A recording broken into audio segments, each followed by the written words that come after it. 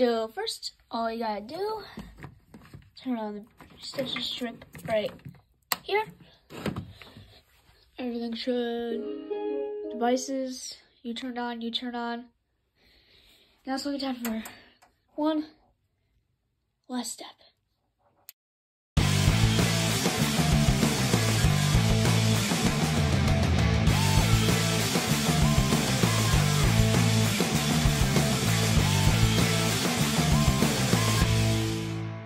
This PC, as you can see, it's a beast. It's one of the best PCs they can get out there for a really Make sure to stick around for the specs and all the details about it. So it has many different lighting modes, as you can see. Fans are running nice and cool. Um, top view, you have kind of this um, kind of protective film here, which you can take off to allow more airflow through the top. You can see the nice RAM. Um, so right here we got two USBs, the light changing thing. So you can change it to different colors on pressing that button, which is really cool if, if you ask me. Um, we have um, right here uh, audio and mic, power button, obviously and on the inside. So, um, this features a cooler master CPU cooler. The CPU is the AMD Ryzen 7 3700X. Uh, there is a total of three fans, just RGB, yeah. The motherboard is the Asus Prime series, as you can see down there. Really good motherboard. Um, the uh, the graphics card is I don't know the exact model, but I know most info. It is the Eagle or Gigabyte GeForce RTX graphics card. It is a 3060 Ti beast. Um, right here we have the RAM.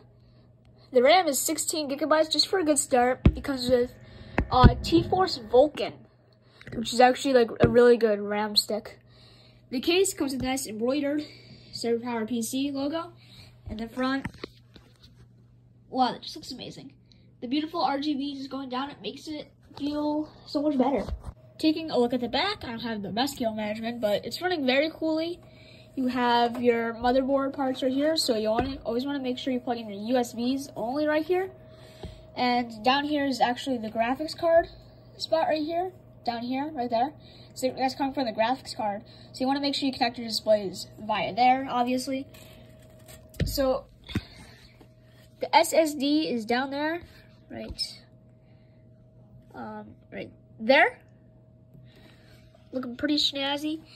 Um, these are obviously the ports. It's cool to see it. Um, yes, it is the Asus Prime again.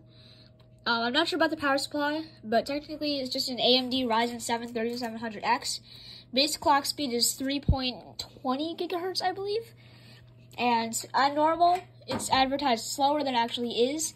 The base speed for the computer that I run tests on is 4.40 gigahertz, which is actually really, really fast for computers and is great for gaming. And I will put a link to it down below for Best Buy only because I haven't seen that I have not seen any reviews on this, so I just want to be the first YouTuber to kind of like do this uh, computer. This is the, um, I was about to say the Acer Nitro. That's what, that was my old computer. This is the Cyber Power Gamer Master Xtreme uh, PC. Mid uh, performance mid tower uh, gaming PC. Because of this nice included keyboard, it does come with a mouse, but I don't know. Um, you're just gonna send us a new one to kind of, you, you, can kind of change the lighting. I'm not sure which keys. Is it all? No, I'm not sure. But as you can see, it's running Windows 11 right now. So I just turned that on. It's running Windows 11, but it defaults to Windows 10. So I just looked here, and it's only using 13% of its CPU and 3% of its memory power, 1% disk power, and 0% disk. Only because, probably because I have two live wallpapers and a bunch of background apps, like um, background apps in normal, but this is, um, I will probably have a video on how to get this really cool space wallpaper soon. And this is, wow, this, that's just cool. It reacts to our mouse, reacts to system sounds, which is really cool. Thank you guys for watching this video. I hope you really liked it. I will leave a link to this product down below again.